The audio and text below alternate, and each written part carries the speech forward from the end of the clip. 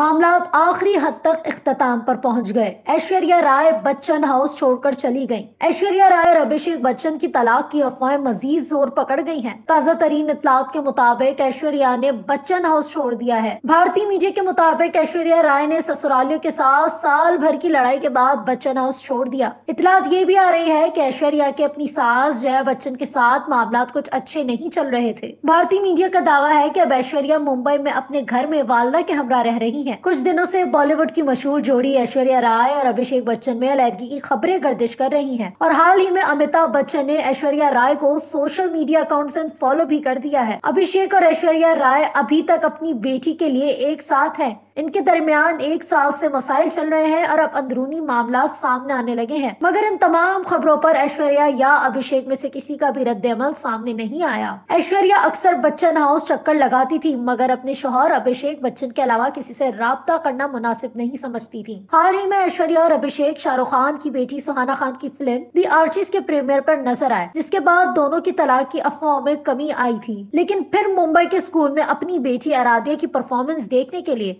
और अभिषेक अलग अलग गाड़ी में आए, जिसे देखकर मीडिया में फिर से तलाक की खबरें फैल गईं। अभिषेक बच्चन और ऐश्वर्या राय 2007 में रिश्ते अजवाज में बंधे थे और 2011 में इनकी बेटी आराध्या की पैदाइश हुई